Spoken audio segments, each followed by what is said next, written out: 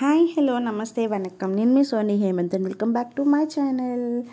ఈ రోజు వీడియోలో సంక్రాంతిలో మొదటి రోజైన భోగి రోజు కోసం నేను మీకు చెప్తున్నాను.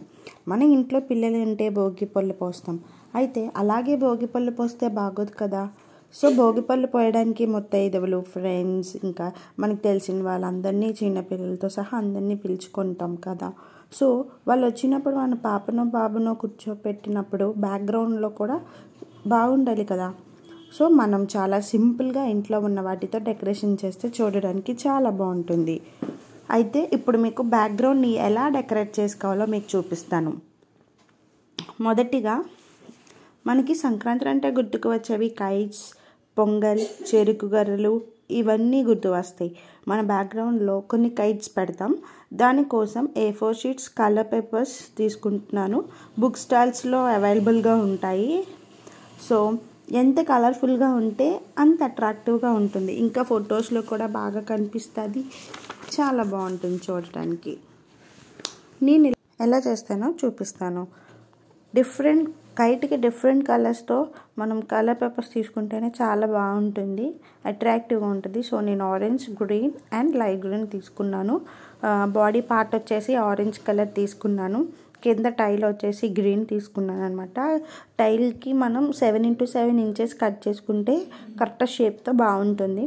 నెక్స్ట్ వచ్చేసి మొత్తం అన్నీ మనం కట్ చేసుకొని పక్కన పెట్టుకోవాలి. లైక్ ఐ అంటే కైట్కి మ్యాక్సిమం ఐ ఉంటే చాలా బాగుంటాయి. సో నేను ఐస్ కూడా అలా కట్ చేసి పెట్టుకున్నాను.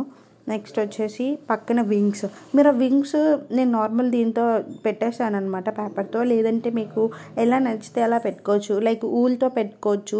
లేదంటే ఫాయిల్ పేపర్స్తో పెట్టుకోవచ్చు. ఈవెన్ అవి కూడా అలానే పెట్టుకోవచ్చు అనమాట సో ఫైనల్ లుక్ వచ్చేసి ఇది. నేను ఫైనల్ లుక్ ఇలా పెట్టుకున్నాను. మొత్తం అంతా బ్లాక్స్కే చేయడం వల్ల బాగుంది. నెక్స్ట్ వచ్చేసి కుండ.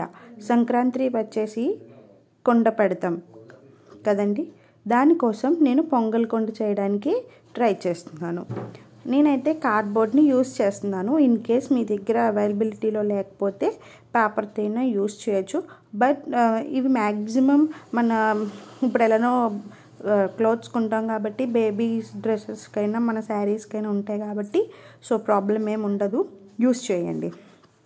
సో ఇప్పుడు మనం కొండకి షేప్ ఇచ్చిన తర్వాత దాన్ని కట్ చేసుకొని మనకి నచ్చిన డిజైన్తో వేసుకోవాలన్నమాట. నాకు నచ్చింది నేను ఏదో ఫస్ట్ గీసేసాను తర్వాత వచ్చేసి మనం స్కెచ్తో ఎప్పుడైతే వేస్తామో అప్పుడంటే లుక్ వస్తుంది కదా.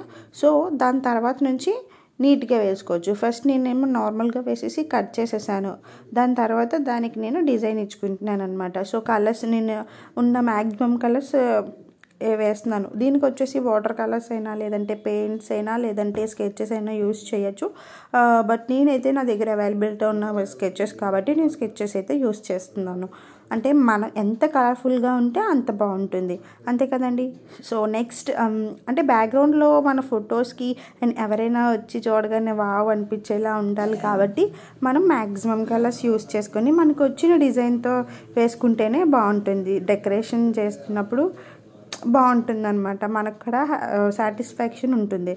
సో ఇలా వచ్చేసి నేను డిజైన్స్ ఇవన్నీ వేసేసాను అనమాట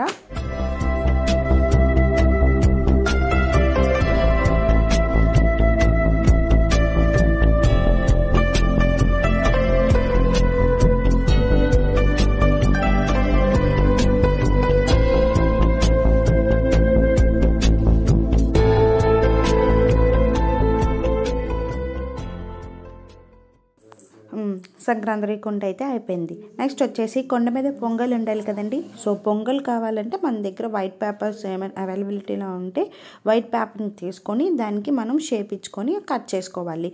సో కొండ మీద బ్యాక్గ్రౌండ్లో మనం నేను పెట్టింది షీట్ చూసారా? ఆ షీట్ మీద ఇది పెడితే కొంచెం ఎగరకుంటే బాగుంటుంది.